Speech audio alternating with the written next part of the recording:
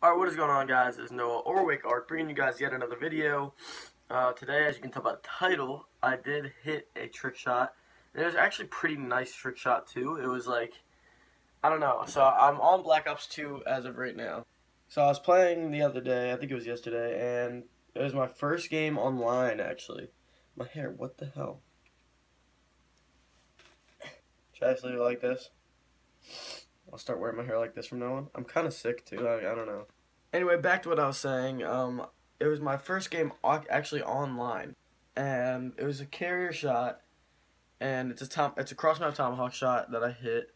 Um, I was gonna not upload this and not like show public until my challenge and until I sent it into random and Kiwiz because I had the clan tag for both of them I think or maybe it was just Kiwiz. I'm not sure, but I am going for randoms challenge too, and mine. By the way, if you are going for my montage challenge and you want to go for like Kiwiz and random or other people's, all you have to do is either have an A for me or a 2 for me. So the 2 is for 200 and the A would be just for arc. One of those two is fine, whichever one looks better.